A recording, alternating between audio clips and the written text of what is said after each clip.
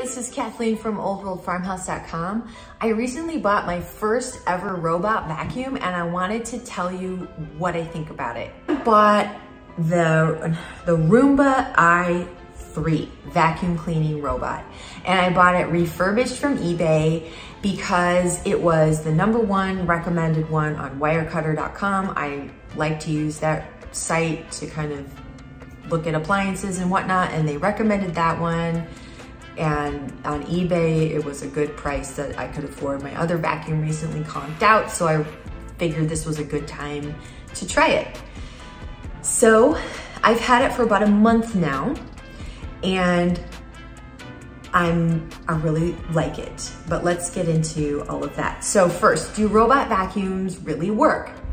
Well, the Roomba i3, yes, it does really work. It picks up an incredible amount of stuff. I, I get this kind of gross pleasure in like when I empty out its bin. I'm like, wow, look at all of that hair, a lot of my hair, unbelievable amounts of my hair. Um, cat hair, even though we barely let the cats in the house, it seems to find every little piece that they've ever shed while they're in here dust and dirt. I'm really impressed with what it picks up. Does it work on carpet? Uh, yes, it does work on carpet. The reviews at Wirecutter were saying it struggles more on carpet than on hardwood. I suppose, yeah, that's true, but I've been really happy with how it's cleaned our carpets. It gets this blue flashing light when it thinks an area is particularly dirty and it kind of like goes into turbocharge mode on it or something. And usually when it gets on my rugs, it does that. And I think they're looking really clean. It seems to be able to get a lot of dirt out of them. Um, I've been really pleased with how they look when the Roomba's done with them. Can the Roomba i3 clean multiple floors? Yes. Now, room in my house and we've got tile, we've got wood, we've got some linoleum, and we've got area rugs and it cleans all that stuff really, really well. I've been really happy with all of it. You can download an app to your phone and have it, have the Roomba talk to the app and then like tell it to do things remotely and map out the rooms so it knows the layout of different rooms. I personally have not bothered to do any of that. I kind of started to, and then our Wi-Fi out here is a little dodgy, so it wasn't really working very well. And then I thought, you know what? I don't want to go to the trouble of mapping every single room either. Like it's a lot of rooms and I, I just want to like set it and go. I could see, anyway, okay, so, so I don't do that. You can do that. And I could see where that would be an advantage if you were away from home a lot. I'm actually at my house a lot, so I can just kind of pick it up and set it in different places as it needs to be done. So that works for me. It, so yes, it can learn the floor plan, but if you don't wanna bother with all of that, because it is kind of a lot of work up front on the app and stuff, you can just set it in a room and it will bump around. It has sensors, and so it'll bump around and find its way pretty well. What happens in my house is I will close, I, the way my house is, you can close off a lot of doors and sort of like keep it contained in one area. So I'll like set it in a room and close the door. And that kind of forces it to really go over that room. Every once in a while it'll get confused and it'll throw out an error code that basically means I don't know where I am. but you can just like push on off and set it down again and it'll reorient itself. And so I'll do that. And I prefer that to um, having to map out every room. I'm really happy with the job it does. If you do wanna map out every room and you have a more open floor plan, uh, even if you don't wanna map out every room and you have a more open floor plan, the Roomba will return on its own. It learns your house and it'll return on its own to its little docking station. And that way you don't have to worry about charging it because it's always gonna be going to charge itself, which is really cool. In our case, we have the docking station in one room of the house, so if it's vacuuming in that room, it'll find its way back when it's done and dock itself. Otherwise, it just kind of stops in the room and I go pick it up and set it on its docking station. So, but since I'm home a lot, that's not really an issue. I just, when I hear that it's not running anymore, I go check and see what's going on and um, we go from there. Mm, the one, the Roomba I have, this i3, it does not have mopping. It's just a vacuum. I understand that some of the newer models have mops as well. I think that's pretty cool. I would love to look into that in the future. I was not really sure I was gonna like the robot vacuum, but I really like it and now I want it to map for me as well. Could it also fold laundry? oh my gosh. I follow the Clean Mama system and she, in her system, you vacuum your house on Wednesdays. So I am happy to report that my Wednesdays have gotten so much pleasanter since I got this Roomba i3. I set it out on Wednesdays to vacuum and it vacuums the whole house. It's great. I love it. I will have it vacuum other days of the week as well. Pretty much every day of the week, I will find it a room to vacuum because there's like the constant sort of daily upkeep. The kitchen, for example, and that my back hallway where people are constantly coming in and coming out. I have the Roomba running in there every day and it has added so much peace of mind. Like, cause when you look at your floor and it's full of crumbs and it's dirty, you're just kind of like, ah. But when you look at your floor and it's clean and like, and also you didn't have anything to do with that, like some, something did it for you. Ah, it's awesome. It is a great feeling. I love it. I feel like I have a live-in maid. I need to think of a name for the Roomba. It kind of makes me think of the stick and the footstool that was like a dog or whatever.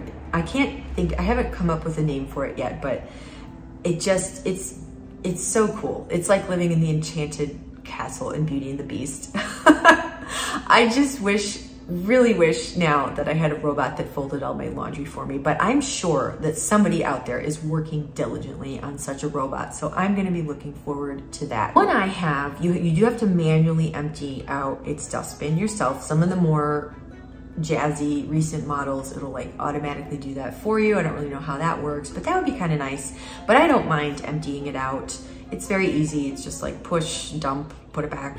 Things about it, I have had to clean out the rollers and the wheels quite often because they get my hair, just mine, because no one else in the family has hair this long yet, and my girls will someday, I suppose.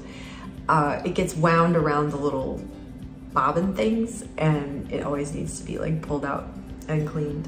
I'm glad it's picking up that hair. I don't mind cleaning it out but that's something I never really did ever with my other vacuum for whatever reason. I, maybe I just didn't ever look. I don't know. Worried about your Roomba sucking up things that it shouldn't. I would recommend you can't, before you set it in a room, I would just look around and do a quick sweep and get things up and off the floor and like bigger pieces, like little scrap, bigger things on the floor, pick them up, it I've had the Roomba vacuum up Legos or like pieces of paper and then it just tends to stop and throw an error code because it needs the rollers to be freed up from the piece of paper or it thinks the bin is full because the bin is full of Legos. so it's in your best interest to kind of do a quick look around first and get things up off the floor and then it'll do a much better job. It does really well going over cords and things. I was worried about it would get tangled up in like things that were plugged in, but it goes over the cords really easily. And I haven't had an issue with that, with it like wrapping up around the little rollers or anything like that. It's been great. Worried about it tumbling down the stairs. Don't worry about that. It has this like ledge sensor and it senses when it's getting to a ledge and it'll just stop itself. I tried this in my upstairs and sure enough, it stopped right at the top of my staircase and it just wouldn't move. So that's really great so you don't have to worry about it tumbling downstairs. I'm gonna sum up. In sum, the Roomba has drastically improved my life because I don't have to vacuum anymore except for just little spot vacuuming here and there. It keeps the floors clean all the time instead of like just having, just doing like a once a week thing and then they kind of accumulate debris in the meantime. They're like now consistently clear and clean all the time, which like gives me this incredible sense of peace. There's just something about clean floors. I just love it. Very easy to use. I haven't monkeyed with the app at all, although you certainly can and you can train it to know your house's layout, but I just use it with its sensors and it does a great job. It does take about three hours for it to charge. I think it can do, I would say in my case, it can do between two and four rooms before it gets tired and needs to charge again. And then the charging takes, to do a complete charge, it takes about three hours. So, but, you know, which is a kind of a pain sometimes when you wanna get the whole house vacuumed and you're in a hurry. But on the other hand, there's no plugs to worry about. So it's great that it can go places and reach everywhere. Oh, that reminds me. This is probably my favorite thing about the Roomba. It's, you know, it's this very low disc shaped thing. So it can go under the furniture and does. And so underneath my couches and underneath my dresser in the kitchen, it's now getting really clean. And when it goes under there and sucks up the dust, it like pushes out the stuff that's made its way under there, like the little plastic cups that have rolled under there, my kids, um, or other little toys and things, it like pushes them out when it comes out. So I'm like, oh, thanks. And I gather up all this stuff. So I think the unders, undersides of all of my furniture are way cleaner because let's face it, when I vacuumed, I, did I have the patience to get underneath the furniture? Mm, not every week, for sure. So this is a, I feel like there's been so much more dust removed from our environment since we got the Roomba. I love it. Would totally recommend the Roomba i3. Like I said, I bought it refurbished based on the Wirecutter's recommendation because it was like $200 refurbished on eBay with a coupon which was, that was all I wanted to spend on a vacuum. And secondly, they said it was a very sturdy model that would last a long time. It's been well worth the money for our family.